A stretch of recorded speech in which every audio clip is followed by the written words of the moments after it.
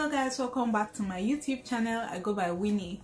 And today guys we're going to talking about grownish.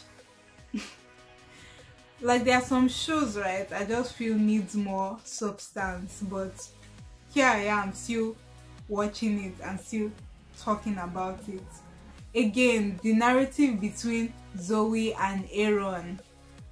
I feel like it needs to end. I feel like zoey needs a fresh new face as a boyfriend. Oh my god wait wait. Who else thought it was quite somehow for you know um aaron's girlfriend to tell zoe that yo like i know you guys are friends and all but can you be less of his friend? Like you know see him less or something like that because she doesn't want their history to spark something for them to start liking each other for aaron and zoey to start liking each other again.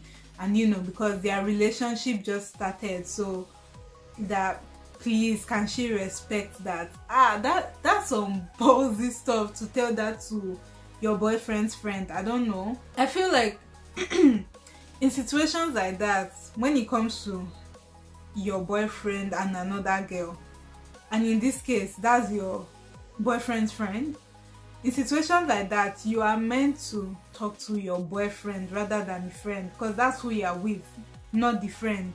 So however zoe acts towards aaron aaron is meant to be the one to draw the line that yo i'm with my girlfriend or like yo i have to go. Like you know or respect the boundaries. Play it off. Like he, he's that's his job not your job as your as the girlfriend because if he really likes you at the end of the day he will do what's necessary to create that boundary of friendship and crossing the line you know as a friend with zoey. But he's the one that went to meet zoey for help and he tried his best. Like he actually created that line in a way but zoey is still his friend. And she zoey is still someone that will have his back.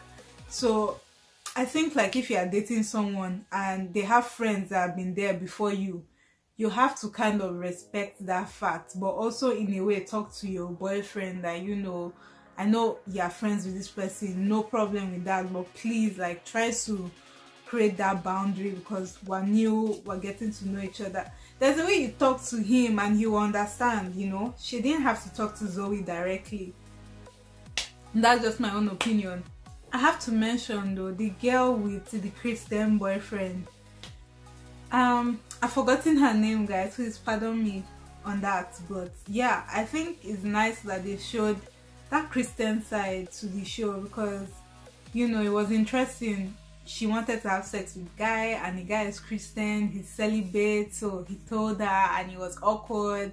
And you know, her too. She's a Christian, oh, but you know, she's she still have sex and all that. So it was an interesting angle for them to add that okay like she was she liked the guy. She knew that he was a good guy compared to like the past relationships she has been in and how they will take her for granted. But this she knew that this guy is a good guy and she likes him. But because he doesn't want to have sex doesn't mean she she wants that relationship to end.